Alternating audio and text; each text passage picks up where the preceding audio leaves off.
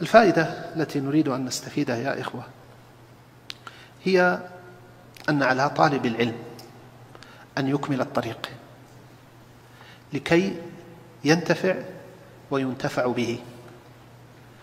أما أن يتصدر أما أن يرجع إلى بلده فيتصدر للتعليم ويتصدر للإفتاء ويتصدر لتوجيه الناس ويتصدر للزعامة وهو ليس متأهلا. ويخوض في النوازل ويخوض في المعضلات وهو ليس أهلا لهذا.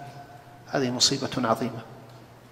إذن الوصية أن لا تكون نصف متفقه. كن طالب علم متأهلا. والعلم طريقه طويل. وآفته الاستعجال.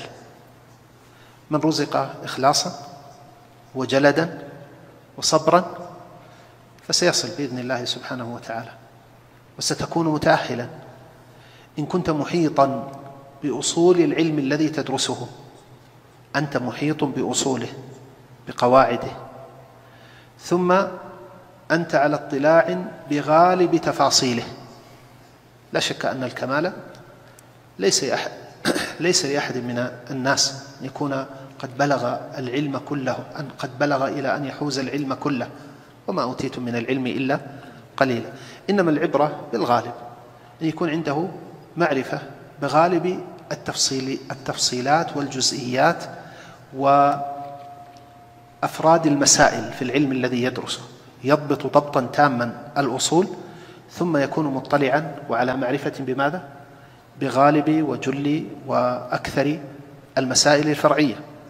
ثم أن يكون على معرفة بمواضع الإجماع والخلاف.